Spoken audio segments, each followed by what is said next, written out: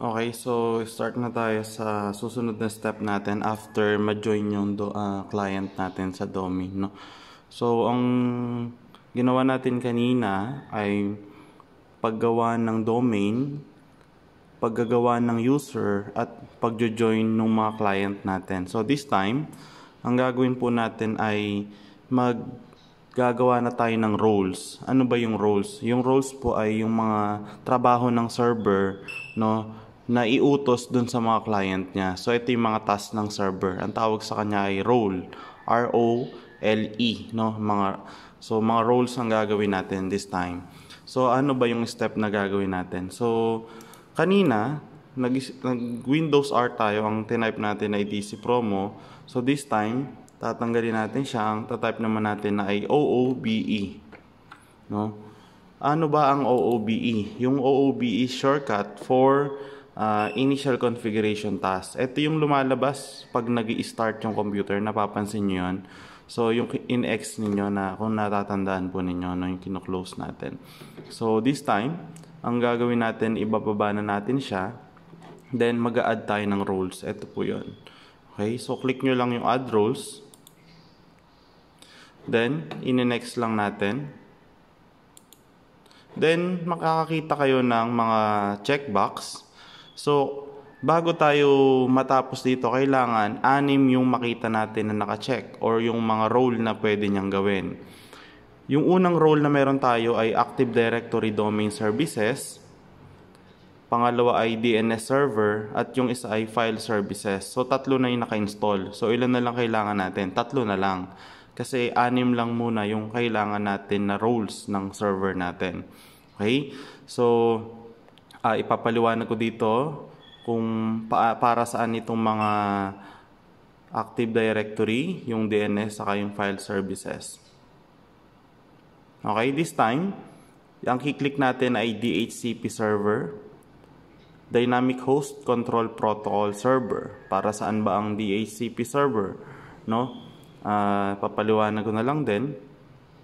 Then yung ating tinatawag na remote desktop services. Then yung print and document services. So bali anim na sila. ADDS, DHCP, DNS, file services, print and document, then remote desktop. Okay? So this time, magne-next na po tayo.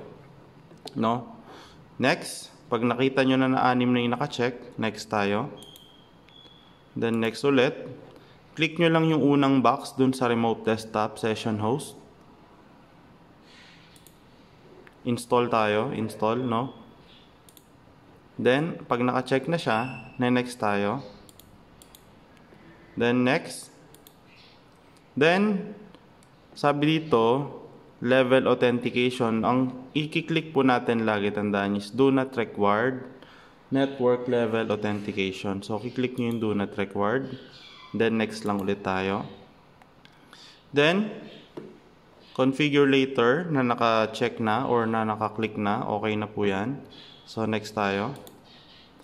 Then, makikita nyo, meron lang dito ay administrator. So, kailangan makita din yung dalawang user dito. So, how? Mag-add ka dun sa gilid click mo yung add. Then, type mo dito user. Then, check names. Makikita mo yung dalawang user na ginawa mo. Ang gawin mo, highlight mo yung dalawa. Then, i-okay mo. Then, okay lang ulit para masama yung dalawang user dito within dun sa tinatawag nating uh, remote desktop. No? So, kasama na yung dalawa. So, dapat bago i-next, make sure na makita yung dalawang user. So, next na tayo. Next lang ulit. Then next.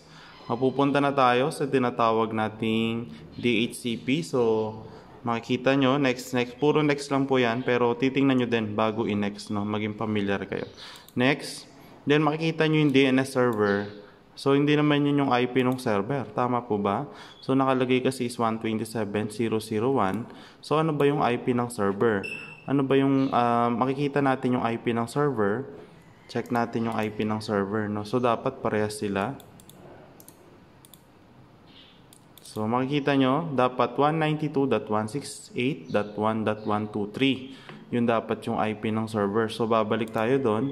Palitan natin siya ng 192.168 dot tingnan natin ulit dot 1 dot 123 no then validate natin kailangan mag-valid siya kasi yun yung IP ng server then punta ka ulit doon makikita mo yung DNS server din dito ay nagbago so iba papalitan din natin yan ilagay din natin yung IP ng server natin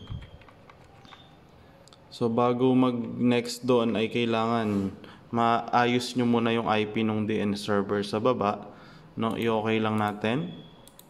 Then balik tayo doon. Makita nyo naka-valid na siya. So pwede na tayo mag-next. Huwag kayong magne-next guys nang hindi nyo pa napapalitan yung IP ng server dito sa baba. No? Lagi nyo i-check. So okay na yan. So pwede na tayo mag-next at valid naman na siya. Then, next lang tayo. It's not required. So, makikita nyo na isa sa pinakamahalaga, no? Dito sa part na to ay yung DHCP scope. Ano ba yung DHCP scope? I-discuss ko na lang yan, no? Sa live. So, anong gagawin lang natin is add.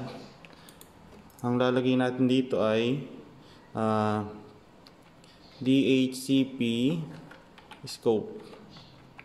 Yan starting IP, kung saan magsisimula yung IP. So, ang lalagay ko ay 192.168.1.200 na.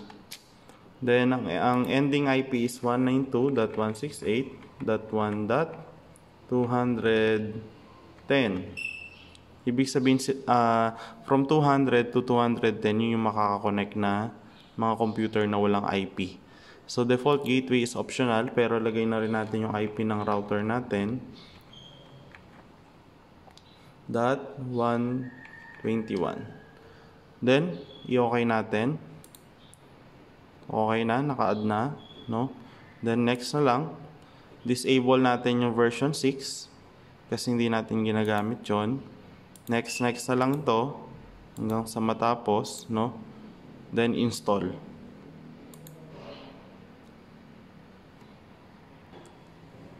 So, magpapa-restart yung computer, kailangan niya mag-restart. So, hintayin natin yung restart. So, after mag-restart ng computer, bubukas na siya, then ganyan yung makikita nyo. So, hintayin lang natin, no? Hintayin nyo lang po kasi may lalabas pa dyan.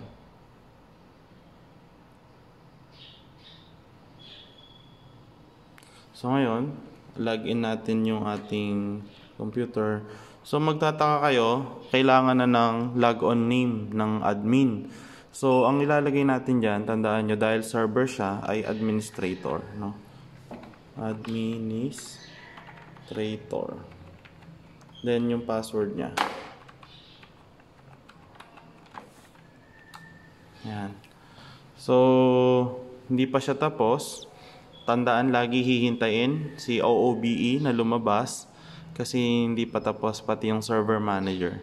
Huwag kayong magkiklik sa desktop habang hindi lumalabas yung dalawa. Yan. So, lumabas na siya. Hintayin lang natin kasi magko-continue pa lang. Tingnan nyo. Resuming configuration. So, kung may mga pinindot na kayo doon, hindi siya matatapos. No? Hindi siya magtutuloy. So, magkakaroon tayo ng malaking error. At hindi natin magagawa yung tatlong dinagdag natin. So, patapos pa lang siya. Tandaan, nag-restart yung computer, then lalabas ito. So, wag mo nang galawin yung computer habang hindi siya lumalabas.